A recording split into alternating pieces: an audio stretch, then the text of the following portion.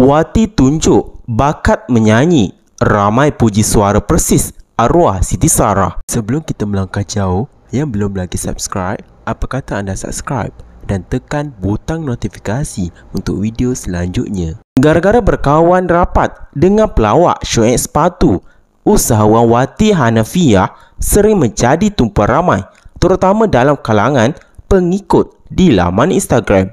Baru-baru ini, dia memaknai sebuah video menunjukkan bakatnya menyanyikan lagu Indonesia berjudul Rapuh. Nyanyi Alsa Agnes Mo dipercayai di sebuah pusat karaoke.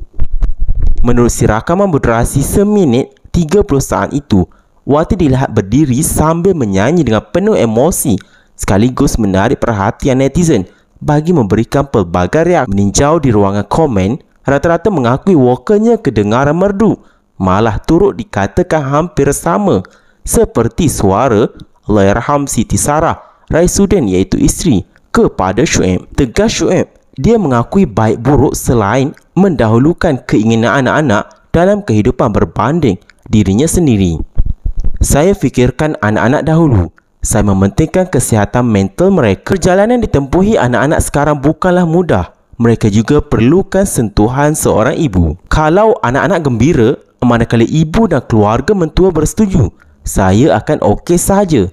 Ini kerana saya hanya memikirkan mereka. Katanya